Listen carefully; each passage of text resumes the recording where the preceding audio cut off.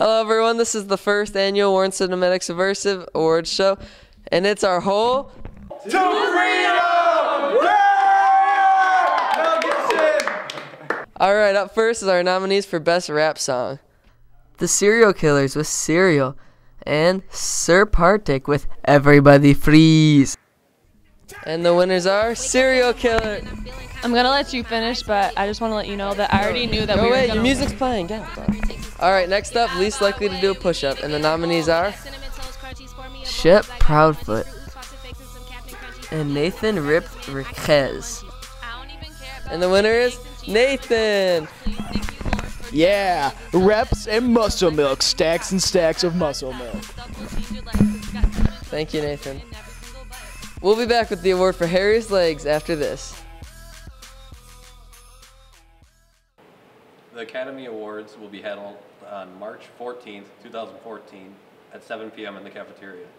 Tickets will be on sale the week of for $7 in advance and $8 at the door. Team building will be held this Friday, December 20th. It'll be from first to third hour. So you can miss third hour, first to third hour if you get the slips that you must get signed by your first third hour teachers that are passed out in English class. Turn in ASAP to the leadership room. If you have any announcements that you want to be put on the DA, send them to the CHS announcements at wcskids.net email. Don't forget about recycling. In the lobby, you can recycle batteries, computers, printers, old electronics.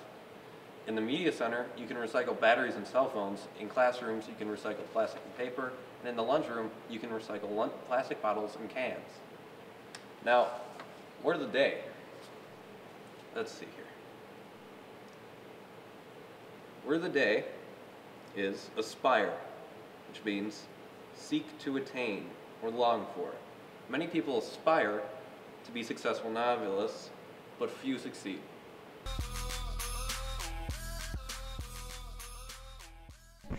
The nominees for Harry's legs go to Carmen. And the winner is Carmen. Thank you. And the reason my legs were so light is because it's winter. Thank you. All right, that's the end of the show. Thanks for joining us both here and at home. And remember, it's our whole To freedom!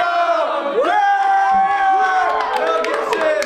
Turn down for what? Wake up in the morning and I'm feeling kinda lazy. My eyes barely open and my head is pretty hazy. My tummy starts to grumble as the hunger takes its toll. Get out of our way, we need to get a bowl. We got cinnamon toast crunchies, pour me a bowl cause I got frosted flakes and some Captain Crunchies. Eating them for breakfast, man, I can eat a bunchies.